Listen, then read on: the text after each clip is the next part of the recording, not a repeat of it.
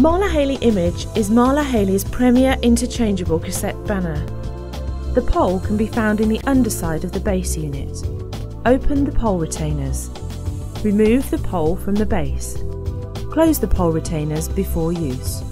Extend the widest pole to the maximum length and twist clockwise to lock into place. The next adjustable section should be extended to the desired graphic height. Insert the widest end of the pole into the secure fitting, located in the base. The graphic panel pulls smoothly from the base, attaching to the top of the central pole. You can tilt the banner backwards for reach as necessary. This banner uses a removable cassette system that makes swapping graphics incredibly easy. To change the graphic, lift the snap rail. Remove the cassette from the base unit and replace with another cassette. Finally, close the snap rail to secure the graphic in place.